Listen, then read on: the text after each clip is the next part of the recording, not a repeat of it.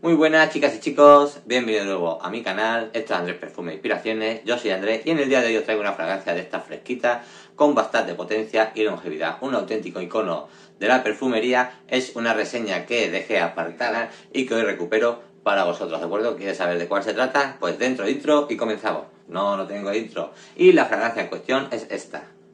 Y esta es Leo de Shape One, del diseñador desafortunadamente no dejó el año pasado Isa Miyaki, que nos la presenta en una caja rectangular de cartón. Y tenemos arriba lo que viene siendo la parte superior de color blanca y la parte la parte baja de color plateado. Detrás nos viene una foto de, cómo viene a, ser el frasco, por si no, no lo hemos abierto, no, no lo llegamos a conocer, pues aquí nos viene como referencia al frasco de, de la colonia y es un ¿vale? Esta en concreto es de, era de 75 mililitros y vamos a ver cómo se nos presenta el frasco por dentro.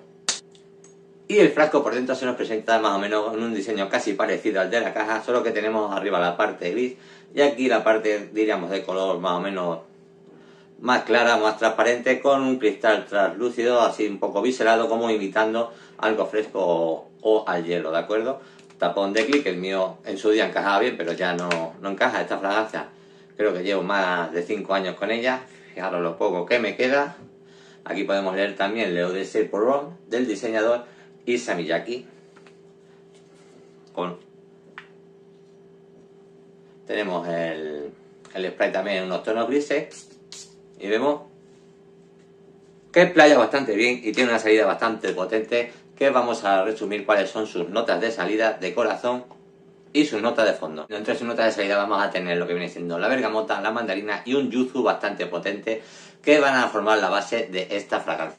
Notas de corazón que van a ser el jengibre, la nuez moscada y el lirio que le van a dar a esta fragancia profundidad y madurez para luego transportarnos a lo que viene siendo el fondo, las notas de fondo de esta fragancia, que van a ser notas como el ámbar y el cedro, que le van a aportar una base amaderada a esta fragancia y le van a aportar un poco más de masculinidad. Notas que en definitiva van a ser las que hagan que esta fragancia se asiente bastante bien en nuestra piel.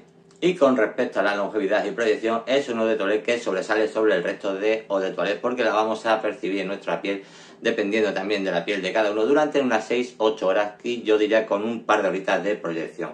Fragancia bastante potente durante sus dos primeras horas, precedido por ese yuzu que como un cítrico, como un limón, pero que tiene un olor un aroma mucho más amargo y potente. En definitiva, Leo de 6 de Samyaki es una fragancia bastante versátil para el día a día y para salidas, digo, bastante informales con amigos, sobre todo en verano.